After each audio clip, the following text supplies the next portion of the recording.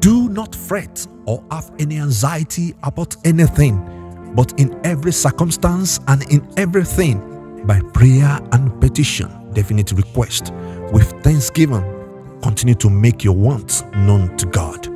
Prayerlessness creates anxiety, and anxiety is the natural reaction of man to uncertainty.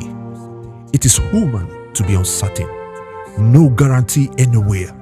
Man change easily, government changes, and the world system and economy can collapse anytime.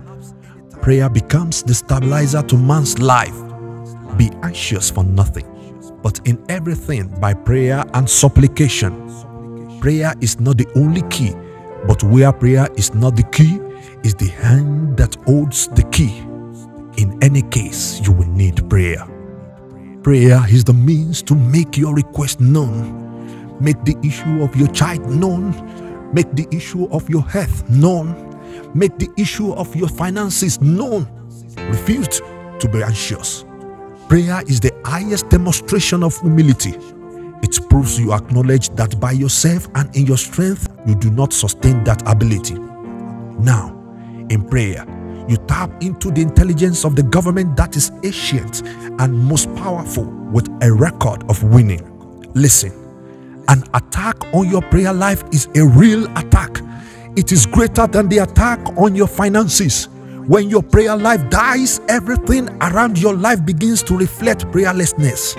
You need to trust God for grace, for prayer, and supplication.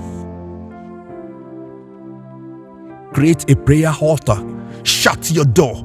Declare it I'm not only a wife, I'm not only a husband or businessman. I am a priest. Begin to control the spiritual climate over your territory. God answers prayer. You can touch the word through prayer. Prayer is powerful, it can heal. Prayer can give and it can change lives. Prayer introduces us to the great companion who meets our human mind with his divine response.